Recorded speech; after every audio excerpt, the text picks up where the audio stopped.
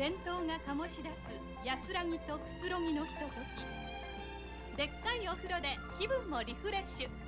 あー最高。有馬表園の紅葉かっくえ背番号33の新たなる挑戦が今始まる。帰ってきたミスタージャイアンツ長嶋茂雄大辞典。お申し込みはビデオショップレコード店または3234の2431バッツまで。北のラーメンのスープのように俺の愛はすぐもわれもしもし彼女冷めちゃったのよへこたれんな北のラーメン屋さんうまいっしょ Bon Jovi coming soon to Japan. June 2nd, 3rd, 4th, 1993. 6月2日、3日、4日 at Nippon Budokan. Tickets now on sale here. タバコの吸い過ぎで喉が荒れたらピュピュ。風邪で喉が痛くなったらピュピュ。声の調子が悪い時にもピュピュ。フィニッシュコアは薬が患部にピュピュッと当たって喉を正常な状態に直していきます。これは効きます。エイズって僕たちには関係ないもんね。男女間の性交渉でエイズにかかる人が増えています。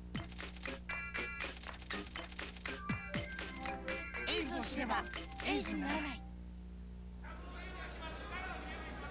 大阪からお送りしております。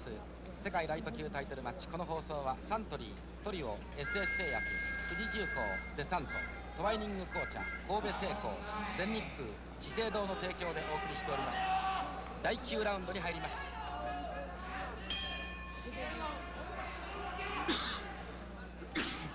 ゴンザレスのコーナーの鎌田さん。はいえー目を切りましたよね、ええ。この辺の動きはどうですか、えーあのーマネージャーのマッコイさんはですねあんまり心配していないようです。あそうですか。4センチぐらいですね、え切れていてそれがこうひさしをかけたようにめくれ上がってますんですね、えあんまり心配してないようです。それからこのラウンドですね、えー少し頭を動かしてええ。中へ入っていけというような指示をしております。このラウンドですね、はい。第9ラウンド。はい。はい。あジャッキー・マコイさんも白井さん、はい。ボクシングももう長くて、ええ40年ぐらいやってる方ですから、はい傷を見ればどの程度か分かるんでしょうし、わかりますよね。そう心配してないということはななるほど。まだできるということですかね。そういうことでしょうね。小林さん、はい。石松の動きにも変化がありませんね。そうですね、でも最近あのよく左が出てきますからね、えあれでストップが最初に右のストレートを打てば当たり前だと思うんですけどね、ただまっすぐちゃいけないですね、下がっちゃいけないですね。うんただね、今日、まあ、今までね、ええ。従来の石松の生きのいいね、ええ。ボクシング、これがまだ出てないんですね。あ、えーだからちょっとやっぱりね、交代交代すると、ええ。ちょっと寂しいんですけどね、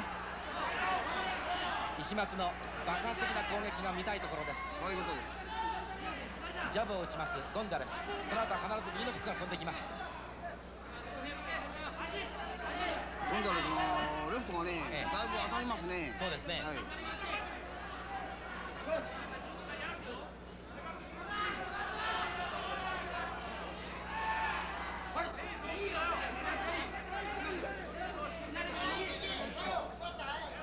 おっと空振りあーちょっと目が大きいですね。あー無理して打ってますね。ちょっと力が入ってますね、力がね、もう力みすぎ今のはね。力みすぎですね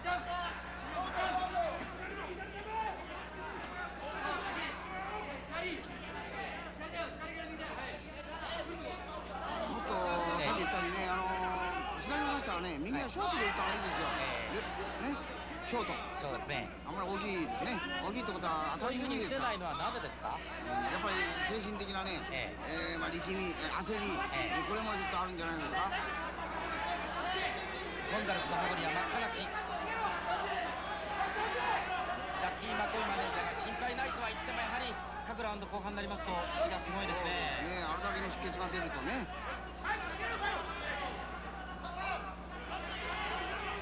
石松はこ狙ってますね。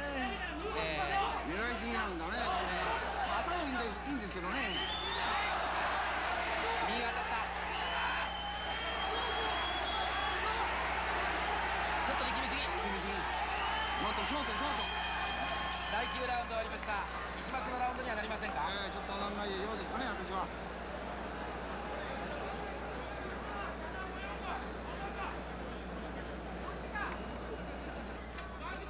この放送はサントリートリオ SS 製薬富士重工デサントホワイニング紅茶神戸製鋼全日空資生堂の提供でお送りしております。ゴンザレスのコーナーです。大きく息を吸い込みました。第10ラウンド。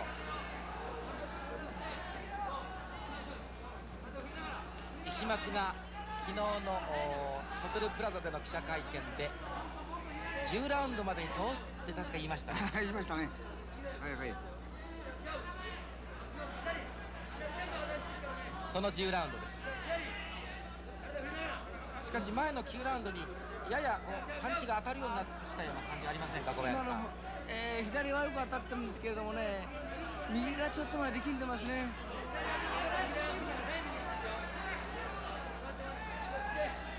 この9ラウンド10ラウンドあたり、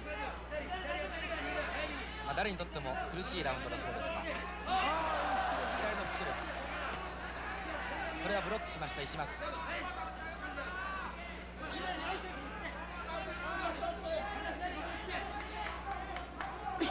前回4月の試合にはゴンザレスがパンチを出せば石松も合わせてパンチを出してこういうふうに下がる場面もあまりなかったんですがああまたレフトの打たれましたねあこの左ですね左のねですね。本田さんの言われたようにねこういうふうにこうなんか自分からこう下がりながらねいいものを取ろうということがね、ええ。ちょっと良くないみたいなんですよね。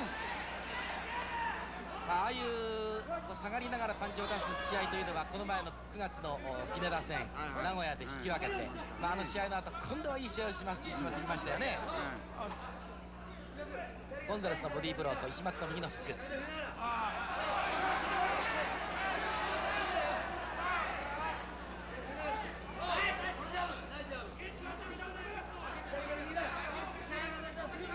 ンザレスのパンチはじわじわ効いてくるパンチ。ビシッビシッと決まるのではなくてえドズンドズンとくるようなそういうパンチなんですが石松もかなりボディを打たれてますからね。そうですね。この辺に来てえー。スタミナはどうでしょうか？まあそれとですね練習の時のあの左のストレートね。えこれがあんまりまだいいのが出てないんですよね。これやっぱり出したいですね。なんしたって左のリードがないとねダメですから小林さん左がやはり打てないんでしょうか？そうですね打たないんじゃなくて打てない。えー、その後ゴンザレスの方が打たせないっていう感じですね。よく外してますしね。よく見てます。それからですね、ええ。右右とね、ええ。あまりにも考えすぎちゃってね、えーレフトがおろそかになってるとこういうこともよくあるんですよね。右を打とうと考えすぎてということですそうするとレフトが出ないと。まあレフトが出ないから右も出ないということなんですよね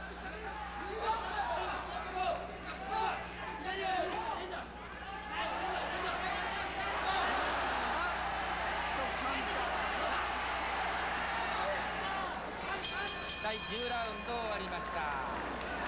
このラウンドも白井さんのああいいもののようです。ね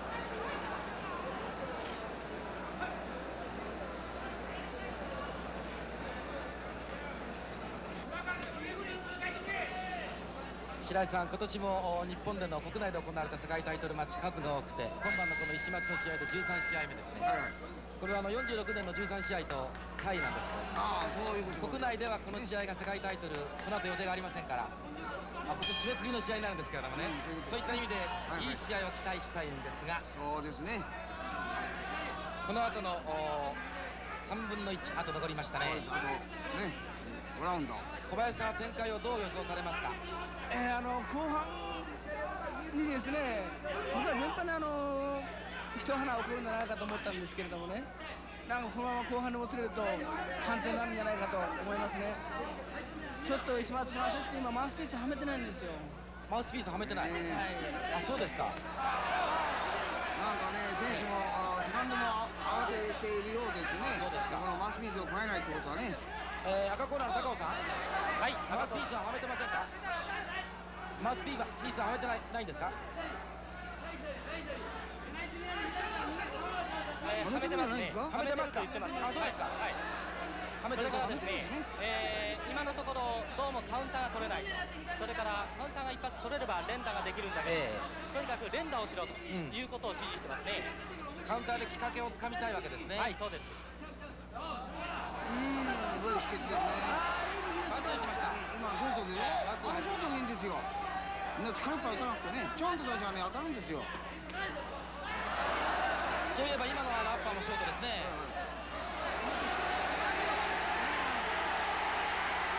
さあどう攻めるかここはどう攻めるか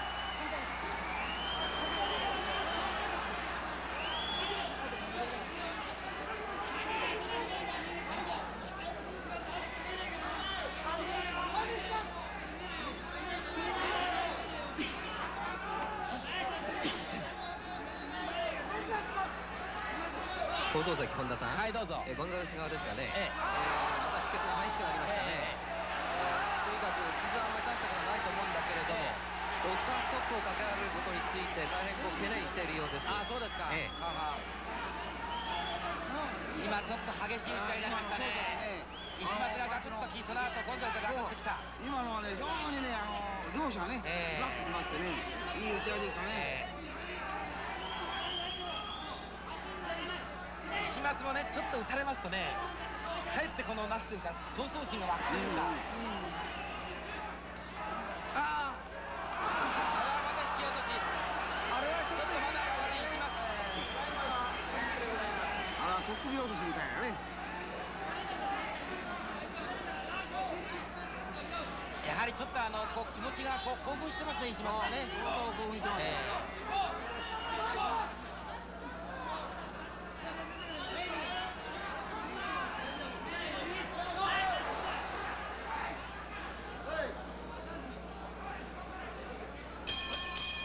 え第11ラウンド終わりました。どうもいいもんですね。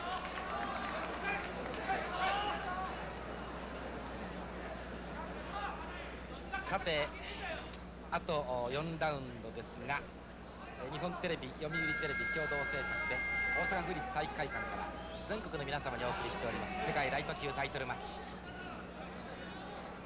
前の11ラウンドのねあのお互いにガクッガクッと腰を落とした打ち合い、ああいうシーンがまだこれは出そうですね。まだまだ出るでしょう。お互いにパンチがあります。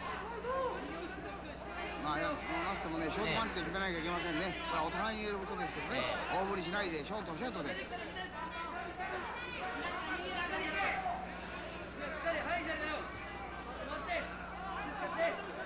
ンザレスは5ラウンドにこの左の目の傷を作りましてその後6、7ラウンドあたり出血がひどくドクターの診断がありました。その後毎ラウンド出血はラウンド後半になって出てきておりますが出血がありますがその後ドクターは止めておりません。ストップはしていません。左のジャブが入りました石松。打てば当たるような感じの石松のパンチなんですがレフリーの吉田さんは両方になんか注意を与えましたがね。左のフック下から打ち上げるようなパンチです。ゴンザレス。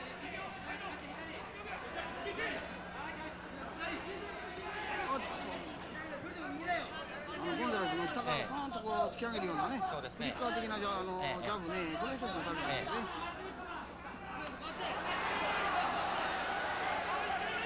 まずちょっと浅かったですね。タイミング悪かったですよ、今。ゴンザレスも勇敢なボクサーですねいい感じですね。度胸がありますね。普段は大変おとなしい青年ですが話す言葉も小さい声でね喋ったりします静かですよ、本当に静かなところでね。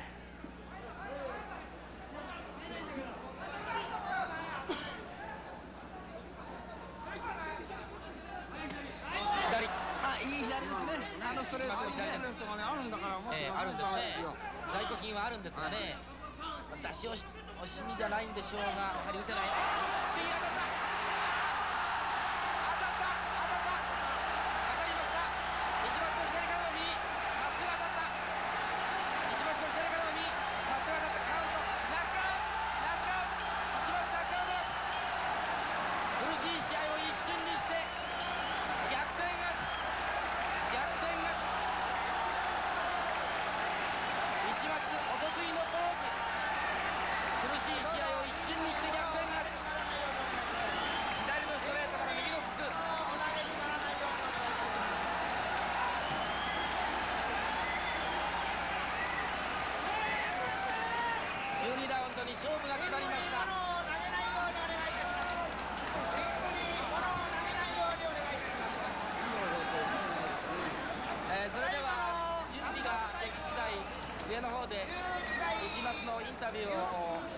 たいと思いますがまず認定証の字をですね。えー、小林さん、何かハプニングがあるとおっしゃってた、あのハプニングが出ましたかね。